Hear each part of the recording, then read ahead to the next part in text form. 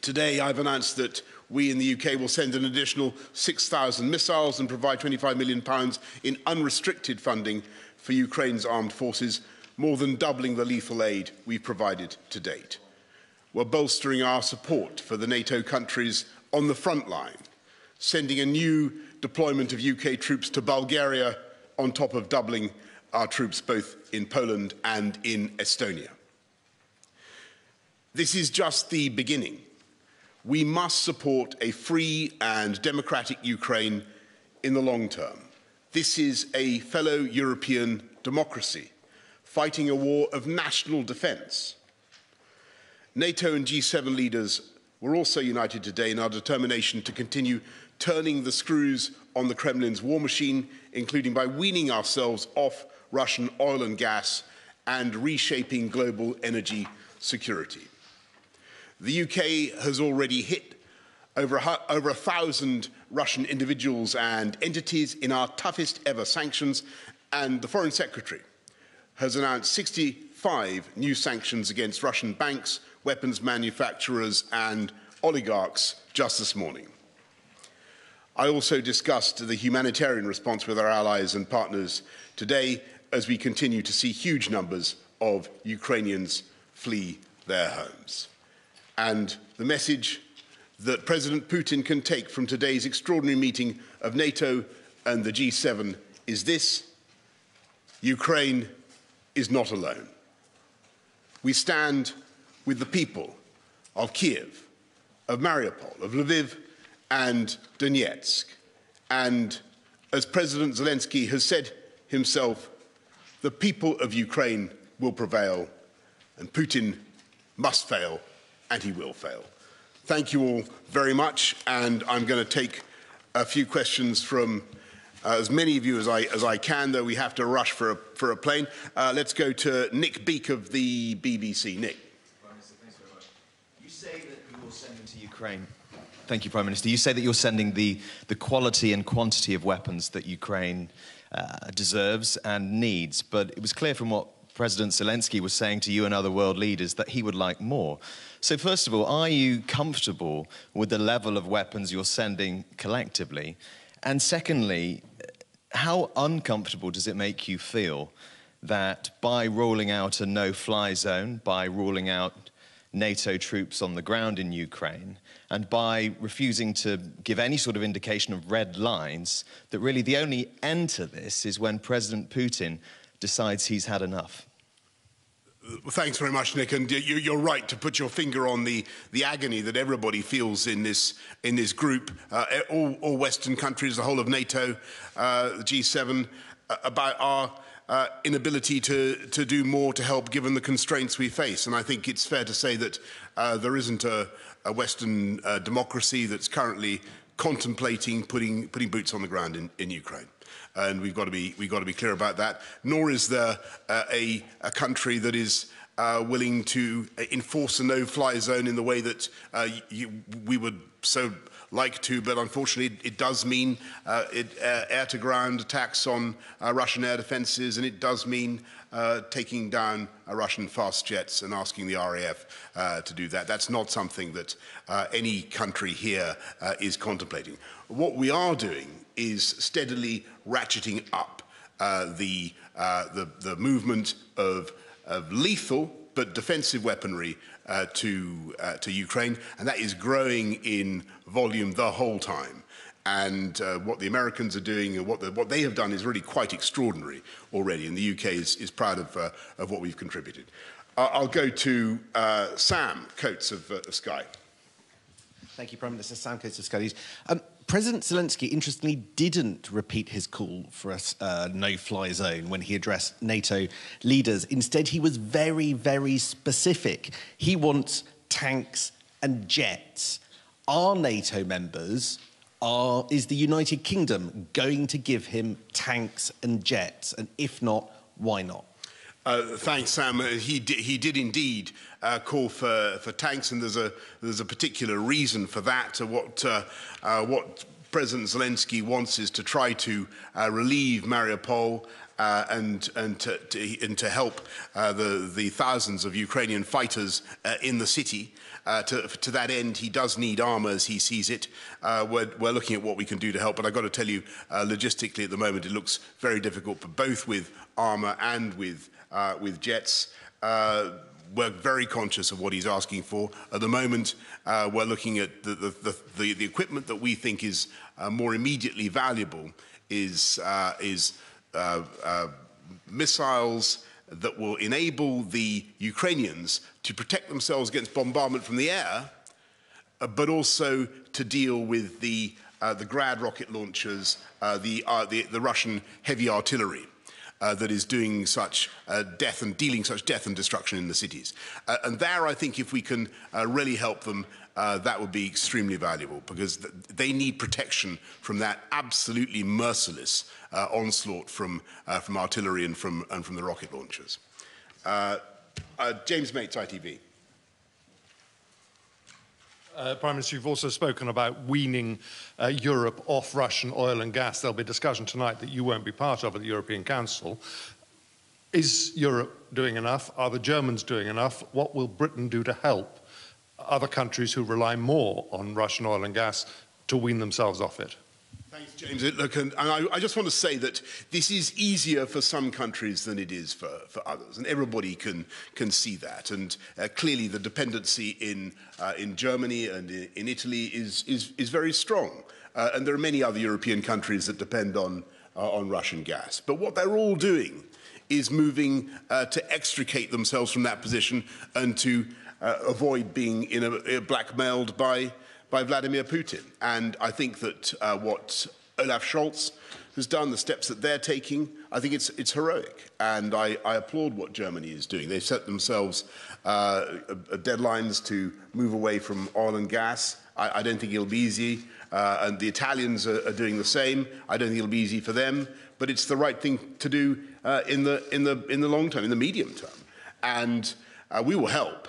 Uh, of course, and one of, the, one of the ways that I think we should all work together is in the sharing and the uh, development of, of alternative uh, provision, not least wind power. I mean, the, the, the Baltic countries, for instance, are heavily dependent on, uh, on gas, but they have a fantastic future as, as generators of clean uh, renewable energy. We want to help that. We have, we have a lot of experience of it.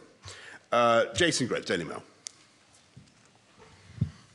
Thanks, Prime Minister. Um, the Kremlin has uh, named you today as their public enemy number one, um, saying you're, the, you're leading the kind of anti-Russian uh, resistance uh, internationally. I wondered why you thought that had happened, whether you thought we were going to get any blowback uh, back home from that, uh, and how you feel about it. And you just mentioned uh, wind farms. Is the price of all this going to be sort of going back to having more onshore wind farms back home?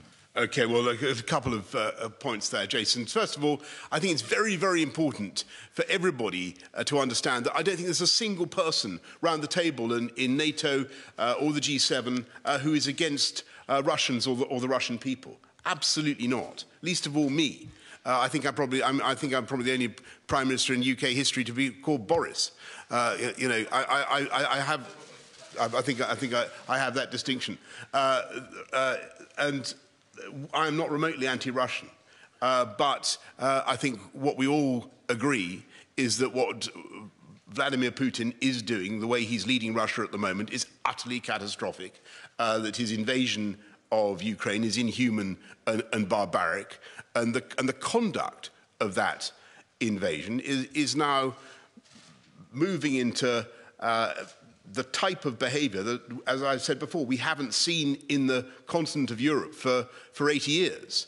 Uh, and uh, it, it's horrific. So you can be, you can be sympathetic towards uh, ordinary Russians who are being so badly uh, led, uh, but you can be deeply hostile to uh, the decisions of Vladimir Putin, the way he's, way he's leading his country. Euro, Euro, and you, sorry, you had another question about um, onshore wind. Uh, look, I, I want to be clear. I think the, the massive opportunity for the UK is in offshore wind, and we've got good at that. Uh, we were until very recently, I, am slightly to my irritation, we seem to be overtaken now by China, but we were until recently uh, the biggest producer of offshore wind in the world. And one of the things I want to be setting out in the uh, forthcoming uh, British energy security strategy is how we can uh, regain our lead as the number one and where we're going to be doing it. And I think you can do it in a, a, completely environmentally friendly way. You can generate phenomenal quantities of renewable uh, energy at, at, zero marginal cost, and it's, it's, uh, it, is the, it is the way forward. Um, Euronews, um, uh, Méabh McMahon.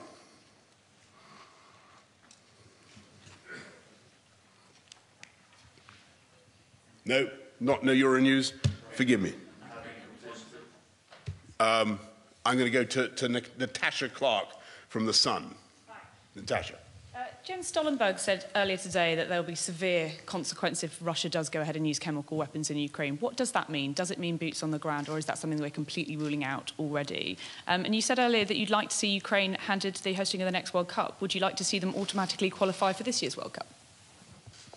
Uh, right. Okay. The ta- uh, so, first of all, on CB, on chemical, biological, uh, tactical uh, nuclear weapons. Uh, all of these are viewed with utter horror by people around the table uh, today. I, I, just heard uh, from my, my friend uh, Fumio Kishida, who, who represents the only uh, country in the G7 actually to have experienced nuclear weapons on his, or see, had, has seen his country attacked by nuclear weapons. There is a visceral horror of the use of these weapons of mass destruction. I think that if Putin were to uh, engage in anything like that, uh, the consequences would be very, very uh, severe. You have to uh, have a bit of uh, ambiguity about your, uh, about your response, but I think it would be catastrophic for him if he were to do that. And I, I, think that he, I think that he understands that. But you know, when you look, when you look at what he's saying, I think Joe Biden is right.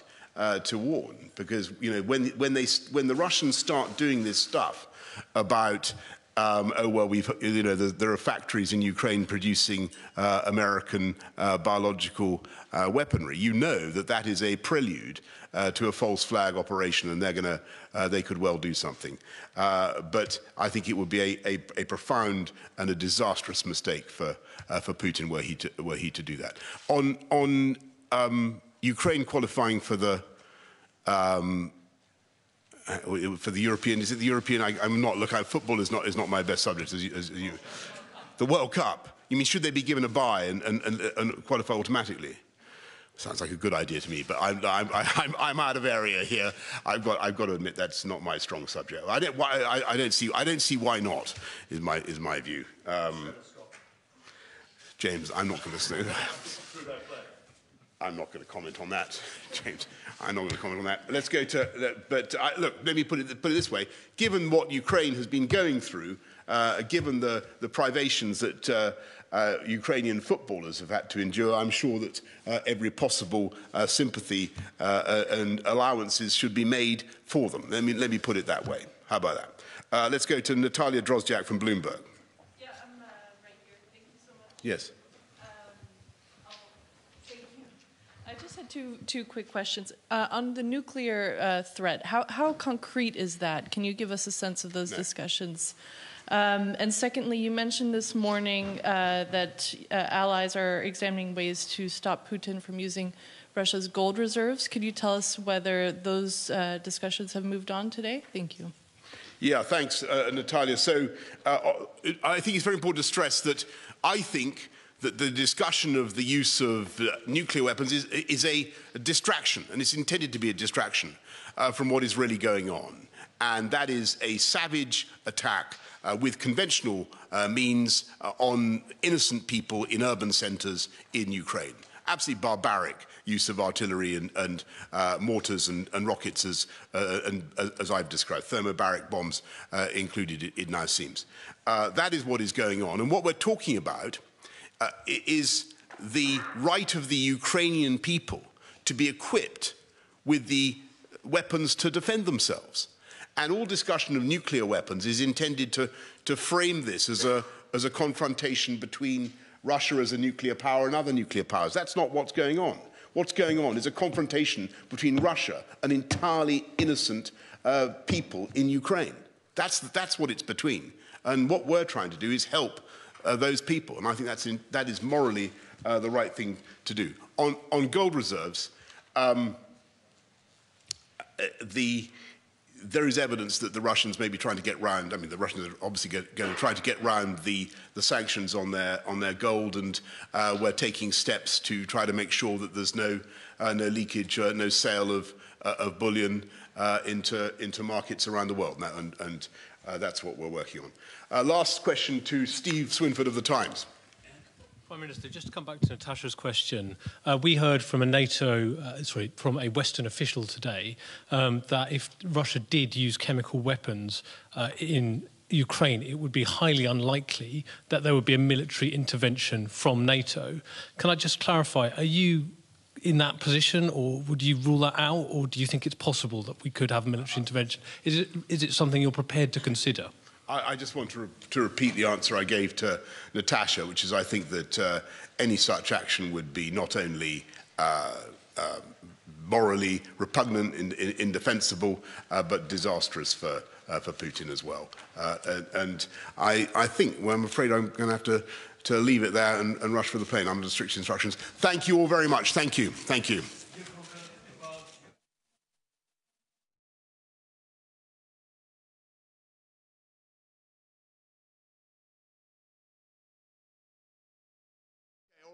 talk me. Okay, okay, okay.